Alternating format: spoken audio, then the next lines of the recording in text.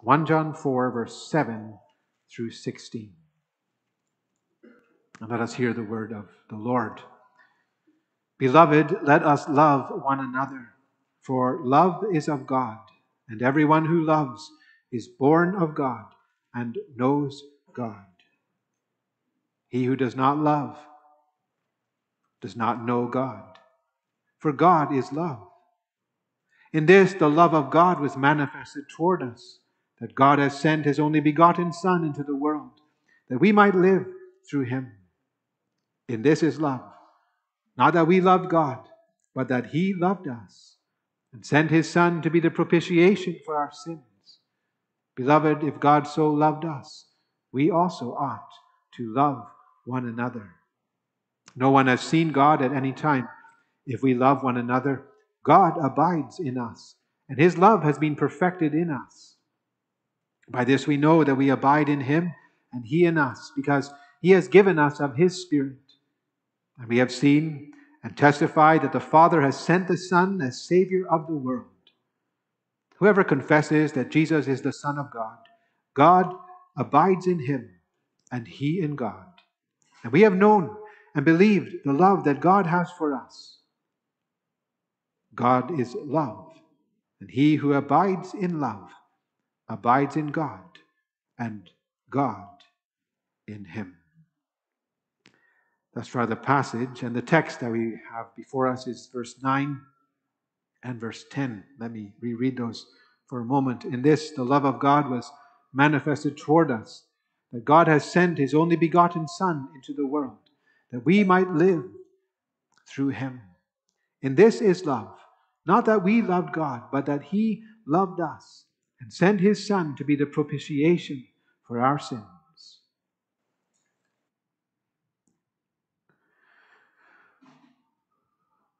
Well, I invite you to have your Bibles open again to 1 John chapter 4 as we consider these words briefly of, of John in verse 9 and 10. And beloved congregation of our Lord Jesus Christ, we're all familiar with the phrase, uh, prove it. Prove it, or show me. How many of us have heard that or said that in life? Maybe children or young people on the playground. Someone says, I can do 50 push ups without a break. And you don't believe it, so you say, Prove it. Show me. Or someone says, I got 100% on my history quiz or my science test. And, and again, you don't believe it, so you say, Show me. Show us. Prove it. We all understand that, don't we? This phrase, we use it so, so many times and, and really about so many things in our life. Also, as adults, we all understand that anyone can say anything and it not necessarily be true. That's how man is, and so we say, prove it. Show us.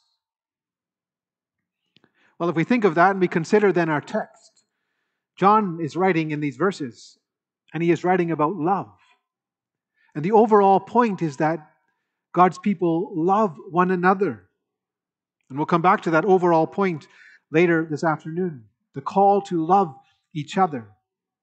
That's the main point. But John, in developing that point, he writes about various reasons to love one another. He builds a case. And the biggest and most important reason, according to the apostle, the biggest and most important reason has to do with the nature of God Himself. The nature of God and the fact that God is love. That's why I love one another. And John, he writes about that in verse 8. He who does not love, he says, does not know God, for God is love. And so we are to love each other because our God is a God of love. Even we can say, John says, God is love. Of course, that's a powerful statement, isn't it? Very profound. Love being so essential to God and very familiar to us. We, we know it, and yet we sense there's, there's mystery here and there's glory and, and greatness. And then at the same time, there may be the question well, how exactly do we know that God is love? I mean, apart from this text and, and the statement that God is love, how do we know it? How do we know that John isn't just saying this? And John answers that. And John tells us in our text, in verses 9 and 10, John sets before us the proof that God, God, well, we can even say it like this God Himself, through John, is proving that He is love and that He loves us, all His people, all who trust Him. And here we can find it in verse 9 and 10, can't we? In this, the love of God was manifested or shown or revealed towards us. That God has sent His only begotten Son into the world that we might live through Him.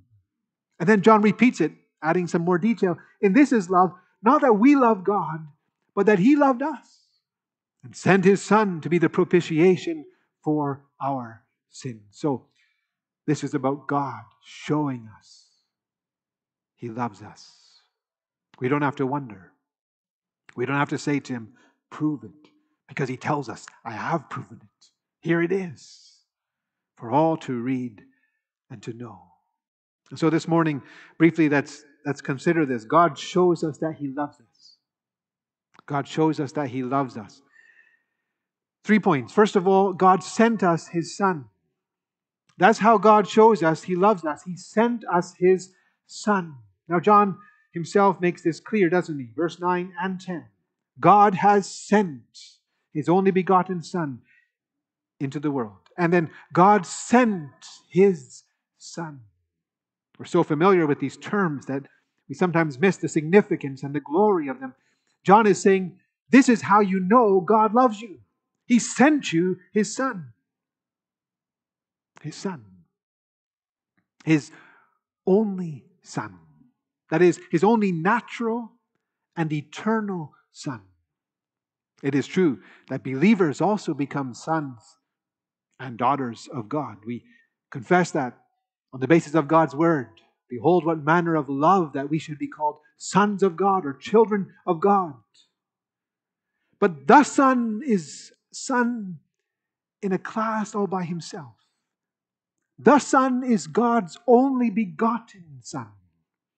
He has been Son since forever. He is the natural and eternal, eternal Son of the Father. And so that sets him apart, and that means he must be very special to the Father.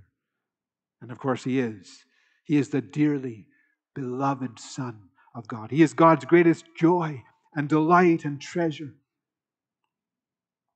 And now we read that God sent him into this world, and God sent him to us.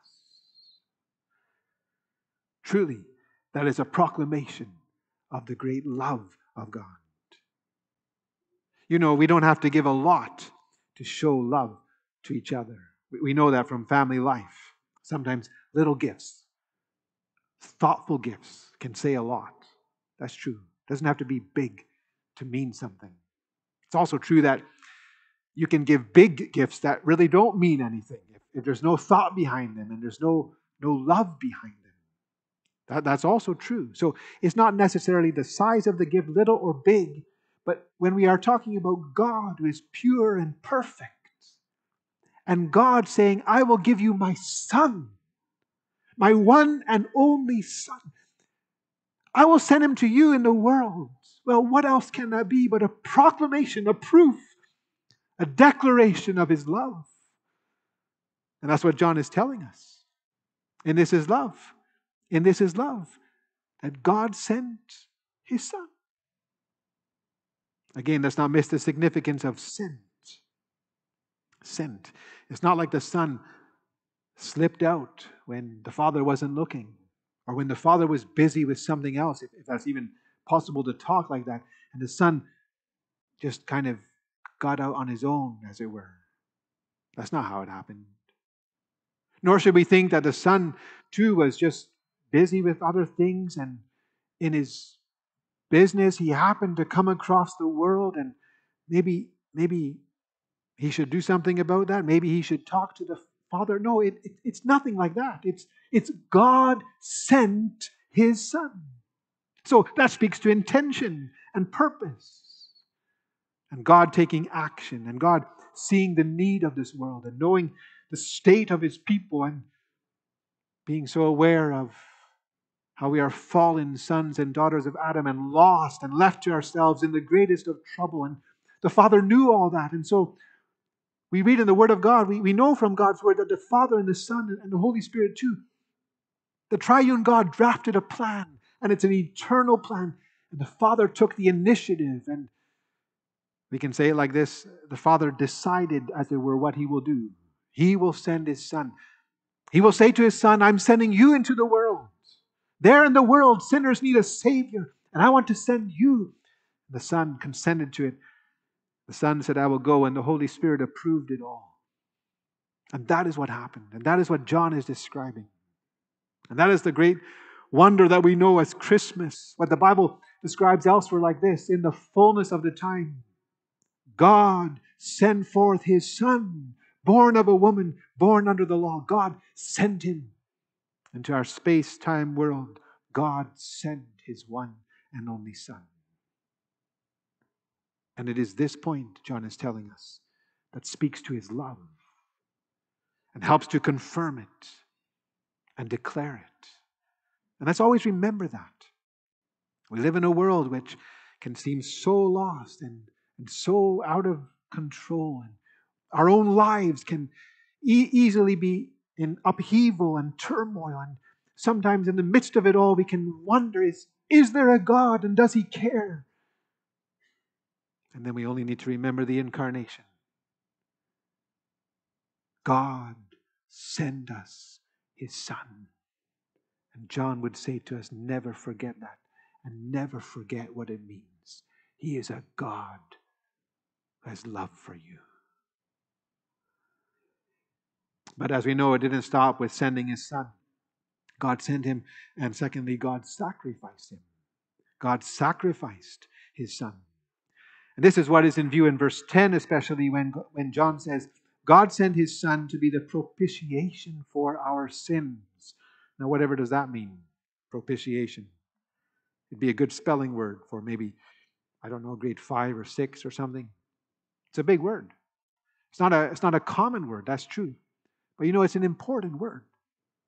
And what it refers to is, is simply a sacrifice that turns away anger or wrath and obtains favor instead. That's what propitiation means. That's what it is all about a sacrifice that turns away wrath and obtains favor. Now, here we have to ask the question why did there ever need to be a sacrifice that turns away wrath and obtains favor? Why did God have to send his son to be sacrificed? And the answer, as we well know, the answer is that we are all sinners and sinful before God. And the consequence of that is that God is very displeased with us. He is rightfully angry and wrathful towards us. And what we deserve is that He would simply unleash His wrath upon us forever. We cannot escape this reality. Though many have tried, and though the modern church has, in, in, in many respects, tried to and, and succeeded even in leaving this behind in their teaching, they've hollowed out the scripture and emptied out the significance of the sacrifice of the Son of God. It's wrong to do it. You can't be a faithful Christian and do it. The Bible tells us that God is rightfully angry with sinners. In the Old Testament, for instance, we meet, someone has counted up the idea of the wrath of God. We meet that concept almost 600 times. 600 times almost. Just the Old Testament speaks about God's judgment and wrath for sin and for sinners. It's what we deserve on account of our sins. What you deserve. It's what I deserve. And isn't it true that part of what it means to be a Christian is that we know this? And we, and we confess this. We don't shy away from this. We don't try to hide this point. But we are honest, like we, we sang it from Psalm 51 when we read the law. How we are born in evil and sin, and how we deserve wrath and judgment. Because if God should mark our sins, our sins. Maybe this past week you have considered that again in part of your preparation for the table, the supper. And it's true that it can be almost crushing, can it, when, when we think about particular sins in our life. Or, or when we consider just how careless we can be spiritually so often. But now, what John is telling us is that God sent his Son to bear that anger and wrath that we deserve. God sent his Son to satisfy every claim of divine justice and righteousness. God sent his Son so that through the Son, all the sin debts of all his people can be fully paid. And as a result, he is no longer angry with us, but he is warm towards us. He no longer stands poised with a sword over us to destroy us, but he opens wide his arms to receive us and to bless us. God sent his Son to accomplish that. And how did his Son accomplish that? Through his being sacrificed. It is through God sacrificing his Son in the stead, in the place, or as a substitute for all his people. That's what the Bible everywhere teaches from the Old Testament offerings to the prophecies to the words of Christ himself to the teaching of the apostles. Jesus, the Son of God, was delivered up for our offenses. He was delivered up so that what ought to fall on you, on me, fell forever, fell infinitely so on him. On him. That's the whole story of the suffering and the crucifixion and ultimately the dying of the Lord Jesus Christ. What was all that about? It was about the Son being the propitiation. It was about the Father sacrificing the Son and the Son on the Son unleashing all of his wrath and judgment as we deserve it, pouring it out upon his Son, making the Son to feel it and to absorb it and to exhaust it. We can't measure that. It was infinite weight, it was infinite wrath. But God made his Son to bear it in all of its fullness and to finish it. And again, why? Why did God do that? Well, John, John is taking us back to the very heart of it because he loves us. It's because he doesn't want to see us die as we deserve. And so he sent us his son to be the propitiation. He sent his son to be sacrificed. Christmas climaxes at Calvary. And therein is God's love. And what's more, the great call of the gospel we know is to believe in the Son of God. Those who can count themselves among the loved of God ultimately are those who by his grace turn to him and trust in him. And so the call of the gospel, as we read throughout the scriptures, is to believe in the Lord Jesus Christ, to believe that he is the Son of God, that he was crucified, that he is risen, that he is the sacrifice that God has set forth for sin and for sinners. And when we so believe, then the promise of the Lord, and here we come to our last point the promise, the, the great wonder and promise is that God saves through his Son. God saves through his Son. Here we go back to the last words of verse 9 that we might live through him. So God sent his Son. That's earlier in verse 9. God sent him. And again, verse 10. God sent him and to be the propitiation and what's it all for? It's that we might live through him. Why does John put it like that? That we might live through the Son of God. Why does John describe salvation in those terms? Isn't it because apart from the Son of God and apart from his saving work on the cross and then through his Spirit in our life, apart from that, we are we are dead, really. We are spiritually dead. Now, no one gets this by nature, no one understands it left to himself. We need the Holy Spirit to teach us, to open our eyes personally. Sinners are, through sin and evil, dead before God. And even though we live in this world, it's not for long, really. And then we die. And if we are not covered by the saving work of the Son of God, if we are not united to Him as our life, then we don't just die, but we forever die. We forever suffer under the judgment and wrath of God. But it is through faith in the Son of God. What happens is that we, we are made alive. In fact, it is, ready, it is already through His power that we, we, we turn to Him and trust in Him, it is already through His, his life giving work in us that we, we wake up to our need and begin to seek Him. And when we so trust in Him, then we find out that, that this is life. And not simply in terms of life in this world, that's true. There's already so much more to enjoy when we are alive in the Son of God, just living in this world. But ultimately, the secret to it is that we have now relationship to God, and we live at peace with Him, and we have the Holy Spirit in us, and we have a hope of being eternal life. We, we look forward to everlasting life with the Lord. And even when we come to die, as, as we must in this world, believers don't really die. Jesus taught that elsewhere when he said, I am the resurrection and the life. He who believes in me, though he die, yet shall he live. And he who believes in me will never die, because death is simply a doorway into everlasting life. And that is why John says that we might live through him, because, because that's true. Because that's the essence of salvation to come from death into life. And that is what God does. And John is saying, and all of it is proof of his love. In this is love. Not that we love God. When we talk about the love of God and, and, and loving God, we should always remember it begins with Him loving us. And how we know that is that He sent His Son and sacrificed His Son. And He saves us through His Son. And it's for all God's people, and every believer can be sure of it. Now, we can struggle with many doubts about ourselves. That's true. We ought never struggle with doubts about Him, about the Lord, about His love, because He has declared it, and because to all who turn to Him and trust in Him, He would guarantee it. In Him, we find everlasting love.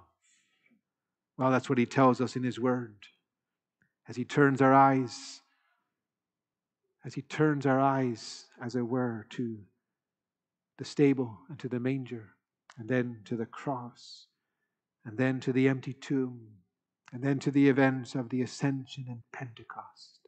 In him is life, and in him we are loved. That's what he tells us. What a privilege that not only this morning do we get to hear it, but through the supper, he now says to us, and I want you to taste it. And I want you to enjoy it. Isn't that what happens? Through the bread and the wine, simple signs and seals of the promise of God, of the loving kindness of our God. How grateful we can be that the Lord sets this before us again this morning. And my fellow believers, then, as we hear of God's great love and as we know it through the gospel, let us, through the bread and the wine, eat and drink and be all the more assured how much our God loves us. Amen. Let us pray. O loving and gracious God, we confess that you are beyond our ability to understand and even to express.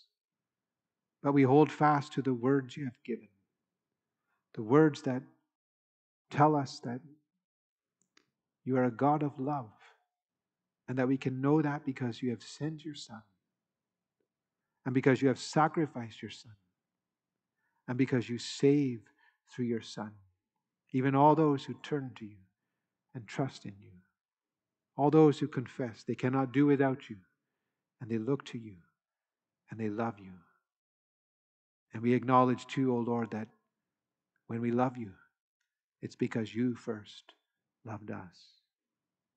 As we consider these familiar and wonderful themes, we pray that you will seal them to our hearts through your Holy Spirit. Simply through the word, O Lord, comfort us as we seek to rest in your love. And then also through the sacrament, assure us further and strengthen us as we eat and drink in remembrance of the Lord Jesus Christ and as we remember that therein, in Him, we see your love. Hear our prayer and help us now, and bless us for your name's sake and by your Holy Spirit. Amen. As we partake of these very simple elements, we remember that the Lord is conveying something so profound and wonderful, almost more than we can fathom and even rightfully express. He loves us. He loves us. What I want to do as we as we close really is and with meditation, just read a few verses from the gospel and then from Isaiah, reminding us of the way the Lord has shown us this love. Mark 15, first of all. And they brought him to the place Golgotha, which is translated place of a skull. Now it was the third hour, and they crucified him. Now, when the sixth hour had come, there was darkness over the whole land until the ninth hour. And at the ninth hour, Jesus cried out with a loud voice, saying, Eloi, Eloi, Lama Sabachthani, which is translated, My God, my God, why have you forsaken me? And Jesus cried out with a loud voice and breathed his last. Surely he has borne our griefs and carried our sorrows. He was wounded for our transgressions, he was bruised for our iniquities. The chastisement for our peace was upon him, and by his stripes we are healed. All we like sheep have gone astray. We have turned every one to his own way. And the Lord has laid on him the iniquity of us all. And John proclaims, In this is love.